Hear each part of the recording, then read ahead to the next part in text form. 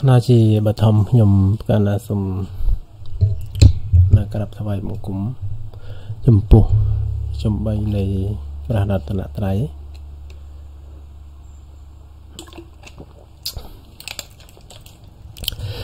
មានព្រះពុទ្ធពធនិងព្រះសង្ឃដែលជា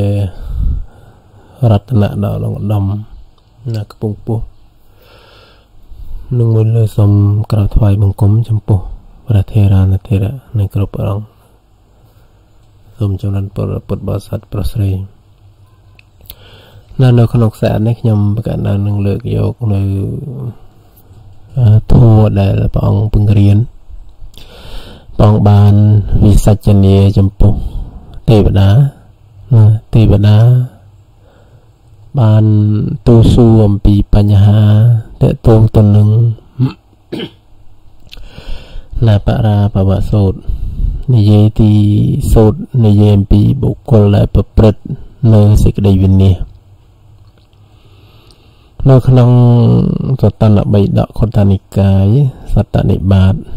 តតិយភិកលេខទីភៅប្រមាណ54ទំព័រ36និយាយតកតងទៅនឹងប្រាពវសោត អញ្ចឹងនៅក្នុងសូត្រនៅក្នុងខ្សែអត្ថខ្ញុំប្រកាសណាបានថតខ្លះខ្លះហើយប៉ុន្តែនៅក្នុងសេចក្តីវីដេអូនេះចង់បន្ថែមដើម្បីឲ្យបានជាមេរៀនដើម្បីពុទ្ធបរិស័ទបានសិក្សាខ្ញុំក៏បីបានជ្រាបតកតងទៅនឹង និយាយតទៅទៅនឹងបរាបវសូត្រនេះគឺនៅសម័យដែលព្រះមានភិត្រាស់ដឹងឡើងនៅក្នុងពុទ្ធសាសនានឹងមានអ្នកមានសទ្ធា ជាពិសេសមានអនាថបណ្ឌកសេដ្ឋីជាដើមបងសាងថ្វាយនៅវត្តឈ្មោះវត្តចេតពុនដែលបានទិញដីអំពីស្ដេចចេត ពេលនោះព្រះអង្គគង់នៅក្នុងអារាមរបស់អនាថបណ្ឌកសិទ្ធិហ្នឹងពេលនឹងឯងអឺនៅក្នុងក្រុងសាវត្ថីមានទេវតាអង្គមួយមិនច្បាស់ពនាមក៏បានទៅទូសួរធ្វើវត្តចេតពុននឹងឲ្យភ្លឺស្វាងរុងរឿងហើយក៏បានទៅកលព្រះមានភិក្ខ ក៏ព្រះមានភិបានទូសាសួរតទៅទៅនឹងសេចក្តីវិនិច្ឆ័យពេលនោះព្រះអង្គបានវិសច្ចនាគឺការឆ្លើយនៅទេវតានឹងព្រះអង្គបានត្រាស់ដឹងតទៅទៅនឹងបរោះដែលចម្រើនអ្នកដែលចម្រើនក៏គេអាចដឹងអ្នកដែលវិនិច្ឆ័យក៏គេអាចដឹងអ្នកដែលវិនិច្ឆ័យនឹងគឺជាអ្នក ត្រុសធัวមិនស្រឡាញ់ធัว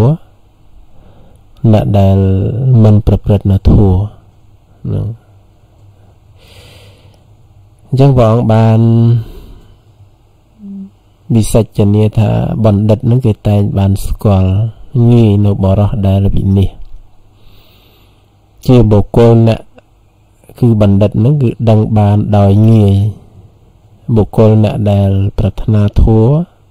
រមែងចម្រើនអ្នកដែលស្អប់ធัวរមែងវិនិច្ឆ័យអញ្ចឹងញាតិញោមអ្វីទៅធัวអ្វីទៅជាមិនមែនធัวពាក្យថាធัวនេះគឺព្រះអង្គទ្រង់សម្ដែងតកតងទៅនឹងសភាវៈត្រត្រង់ដែលជាកុសលធัวមានអលោភៈទោសៈមោហៈជាដើម ប៉ុន្តែនៅក្នុងសេចក្តីនេះពាក្យថាធัวហ្នឹងគឺបានដល់ច្បាប់ទម្លាប់ប្រពៃណីទំនៀមទម្លាប់ណាដែលប្រព្រឹត្តទៅធ្វើឲ្យមានការរួបរวมគ្នាសាមគ្គីគ្នាទោះបីជាបើយើងគិតថារបស់ដែលយើងជាដូនជាតាយើងមិនសូវមានតម្លៃក៏ប៉ុន្តែយើងកំភ្លេចថា អ្វីក៏ដោយឲ្យតែយើងកាន់ទៅហើយឲ្យតែអាចធ្វើឲ្យមនុស្សយើងរួមគ្នាបានយ៉ាងវត្ថុនឹងប្រកាសជាមានតម្លៃទោះទោះបីសភាពពិតរបស់នឹងមិនថ្លៃក៏ប៉ុន្តែអ្វីដែលថ្លៃគឺធ្វើឲ្យមនុស្សនឹងរួមគ្នាបាននឹងគឺជាបោះមានតម្លៃផងដែរ បាននិយាយទៅថាអ្វីដែលគេត្រូវការរបស់នឹងវាថ្លៃរបស់នឹងវាមានតម្លៃអ្វីត្បិតរបស់នឹងល្អក៏ប៉ុន្តែមនុស្សនឹងមនុស្សមិនត្រូវការមនុស្សមិនរឹបរកគឺរបស់នឹងវាអត់ថ្លៃអញ្ចឹងនៅក្នុងសេចក្តីចម្រើនពាក្យថាចម្រើននេះនិយាយទៅទៅទៅនឹងធัวធัวអ្វីដែលធ្វើឲ្យមនុស្សយើងសាមគ្គីគ្នាបានពួតដៃគ្នាបាន ក៏ចាត់ទុកជាធัวមួយក៏អាចធ្វើឲ្យមនុស្សរុងរឿងរុងរឿងត្រង់ចំណុចថាសាមគ្គីគ្នាណាអញ្ចឹងគឺតើតើទៅនឹងការប្រពន្ធសុចរិតកម្មសុចរិតកម្មមានន័យថាកុសលកម្មមត់ទាំង40ទាំងអស់នេះគឺ គឺធัวដែលនាំឲ្យចម្រើន ចម្រើនទាំងកុសលធัวចម្រើនទាំង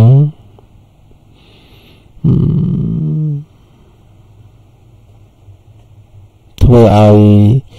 មនុស្សយើងនឹងគឺបាននៅសេចក្តីល្អណាអញ្ចឹងយើងរៀនហើយតើតើថាអ្វីទៅអ្វីក៏ដោយវាតេតងទៅថាផ្លូវចិត្ត ប៉ុន្តែ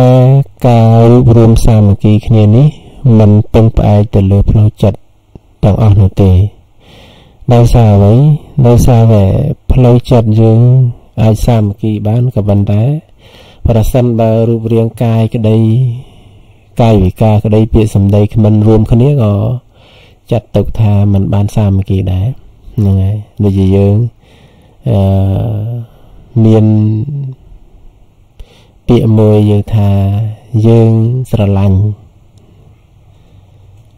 អញ្ចឹងពាក្យសម្ដីយើងអាចនិយាយល្អប៉ុន្តែទង្វើវាអត់ល្អចិត្តវាអត់ល្អយើងរួមសេចក្តីមកពាក្យថាសាមគ្គីនេះត្រូវតែមានទាំងចិត្តមានទាំងវិចារមានទាំងកាយវិការព្រោះថាបើយើងស្រឡាញ់ឬថាយើងថាយើងស្រឡាញ់ខ្មែរ យើងនិយាយយើងថាស្រឡាញ់ប៉ុន្តែទង្វើរបស់យើងអត់ស្រឡាញ់ទង្វើយើងអត់ស្រឡាញ់ចិត្តយើងថាចិត្តនឹងបញ្ជាមកថាស្រឡាញ់ប៉ុន្តែពាក្យសម្ដីយើងអត់ល្អអានោះក៏ចាត់ទុកជាអត់ស្រឡាញ់ដែរអញ្ចឹងប្រសិនបើយើងមិនធ្វើឲ្យអឺកុសលយើងកើតទាំងផ្លូវចិត្ត ទាំងផ្លូវកាយទាំងផ្លូវវិជ្ជាទេក៏មិនអាចចម្រើនបានដែរដូចជាយើងនិយាយពាក្យថាខ្ញុំស្រឡាញ់ខ្មែរខ្ញុំចង់បានសាមគ្គីក៏ប៉ុន្តែបើសិនតែញាតិញោមពុទ្ធបរិស័ទយើងថាស្រឡាញ់ខ្មែរប៉ុន្តែដល់ពេលយើងបើកឡានយើងបើក100 100អញ្ចឹងទៅ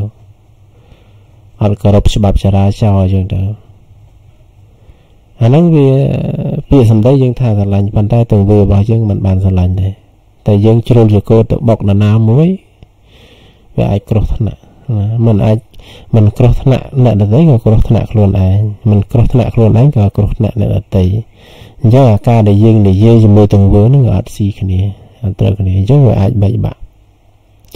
វាអាចធ្វើឲ្យវិនិច្ឆ័យអន្តរាយចិត្តចិត្តយើងមានមេត្តា គឺត្រូវតែមេត្តាមនោកម្មមេត្តាវិជ័យកម្មនិងមេត្តាកាយកម្មណាត្រូវតែមានហ្នឹងត្រូវតែមានអាទាំង3ហ្នឹងប៉ុន្តែញាតិញោមកន្លែងខ្លះវាមិនមិនបានគិតវិនិច្ឆ័យទៅដូចជាតកតូននឹងច្បាប់ទម្លាប់ណាច្បាប់ទម្លាប់អីជាដើមណា កន្លែងខ្លះវាជាច្បាប់ណាដើម្បីឲ្យមនុស្សខ្លាចដើម្បីឲ្យមនុស្សរៀងដើម្បីឲ្យមនុស្សអនុវត្តมันអាចយកមេត្តានឹងទៅទៅធ្វើបានទេព្រៃព្រោះមនុស្សអាក្រក់មួយចំនួនมันខ្លាចនៅធัวទេណាលុះត្រាតែមានដំបងឬរំពាត់អញ្ចឹងបាននៅក្នុងច្បាប់ចៅក្រមលោកនិយាយតកតងទៅនឹងមណ្ឌលេនសែនបតមណ្ឌកតសេឡូនឹងតកតងទៅនឹងបុគ្គលទៅតាមប្រភេទ អ្នកខ្លះគ្រាន់តែនិយាយទូនមានព្រានបដាបច្ច័យបញ្យលក៏អាចខ្លាចនៅអំពើបាបដែរអ្នកខ្លះក៏តលតែមានដំបងឬរំពាត់អ្នកខ្លះតតែចាប់ដាក់គុកដាក់ច្បាប់អីចឹងទៅរហូតដល់មួយប្រភេទទៀតនោះគឺมันទូលមានព្រានបដៅមិនបានរហូតដល់តែតែបាត់បង់ជីវិតអីចឹងទៅ បានអាចកែបានអានឹងគឺតកតងទៅនឹងការគ្រប់គ្រងប្រទេសជាតិមាតុភូមិណាចឹងបាន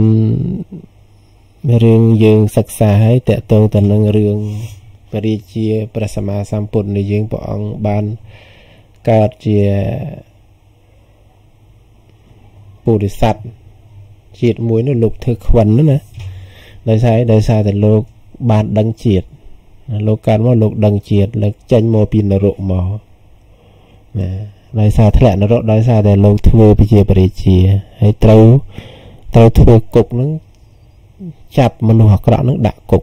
កន្លែងខ្លះត្រូវសម្លាប់ទៀតអញ្ចឹងត្រូវធ្លាក់នរកអញ្ចឹងបានលោកកើតមកហើយលោកសុកចិត្តធ្វើខ្វិនដើម្បីអីដើម្បីកិច្ច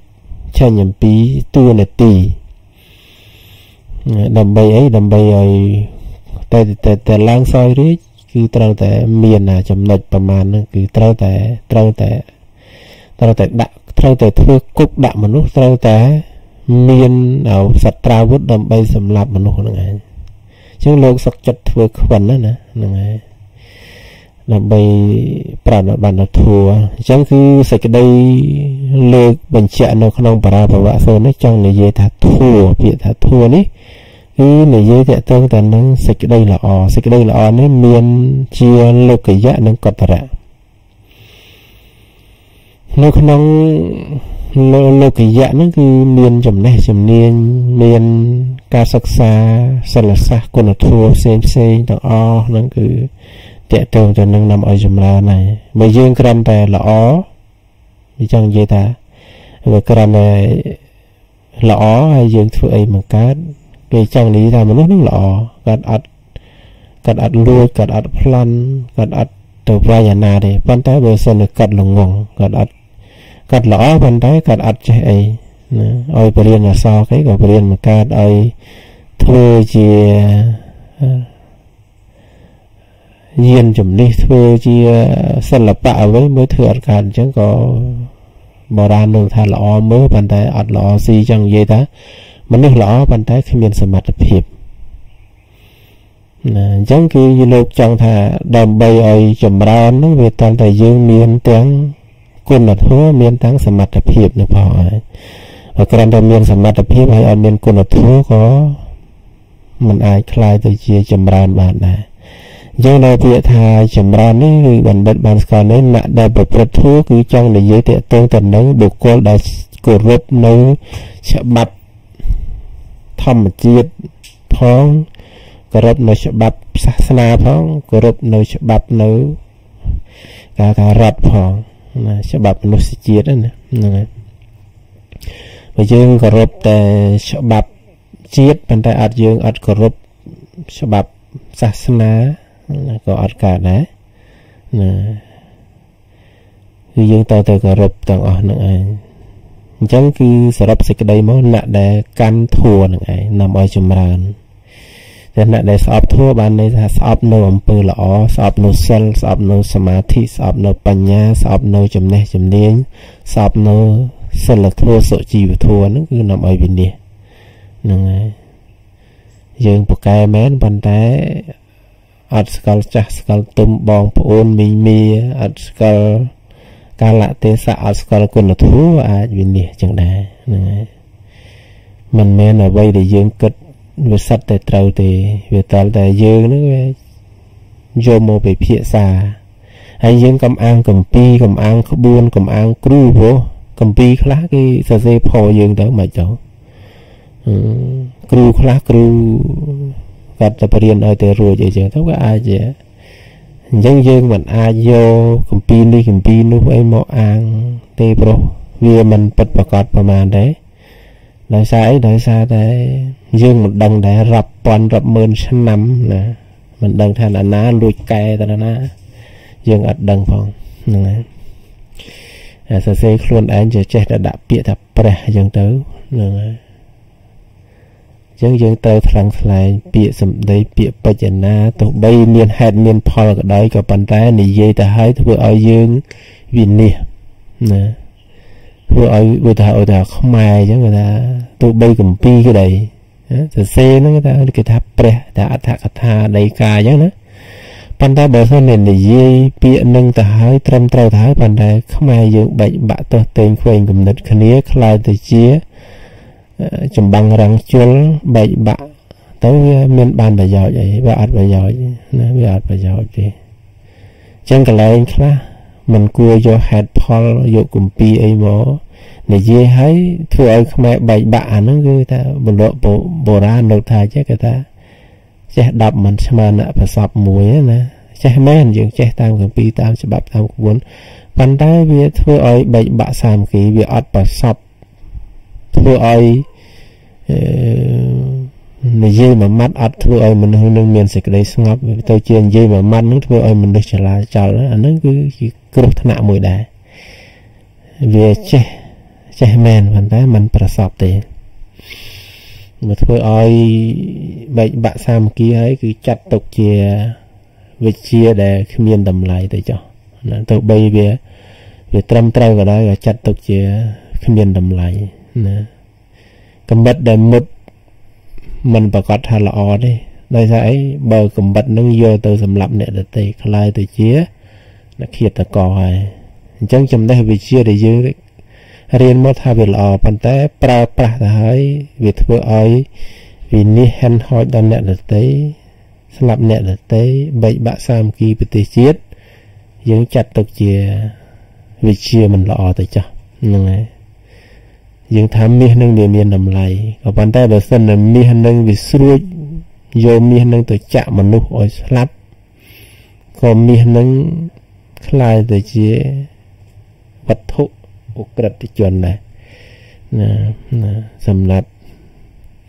សម្រាប់មនុស្សដែរអញ្ចឹងអ្វីអ្វីនៅក្នុងโลกនេះវិជាដែលយើងប្រើខុសហ្នឹងចាត់ទុកជាវិជាមិនល្អសម្ដីដែលយើងនិយាយទៅឲ្យធ្វើឲ្យអ្នកដតីបែកបាក់ធ្វើឲ្យអ្នកដតីកើតកិលេស ចាត់ទុកជាវិជាមិនល្អទេ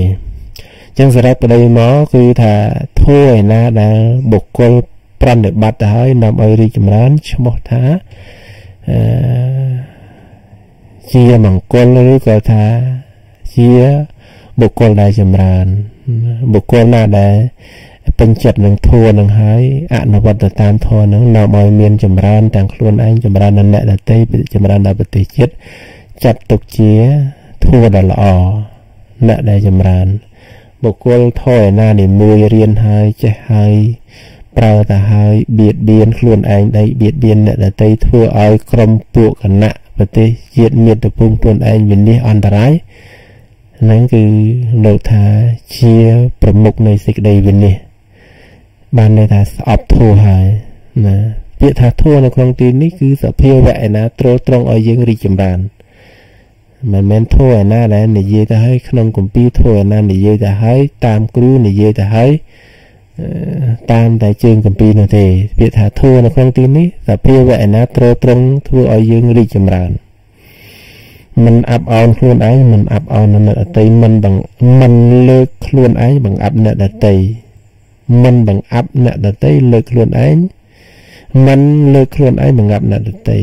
ណា បានន័យថានិយាយទៅហើយពោលទៅហើយរីកចម្រើនទាំងខ្លួនឯងរីកចម្រើនអ្នកដតីចាត់ទុកជាធัวល្អចឹងនៅក្នុងបរាភវសូត្រទី1ខ្ញុំកណ្ណាលើកថាបុរស